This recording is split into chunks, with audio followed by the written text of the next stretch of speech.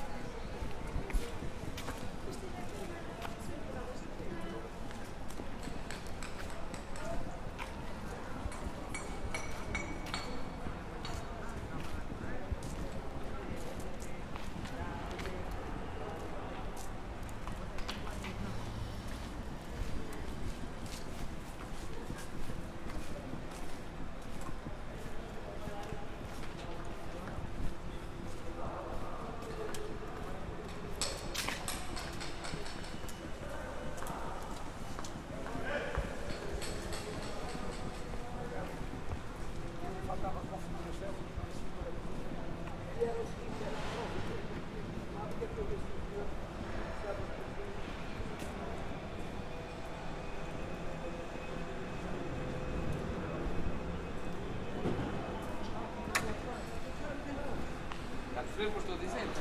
Ou seja, queremos ver as contas públicas.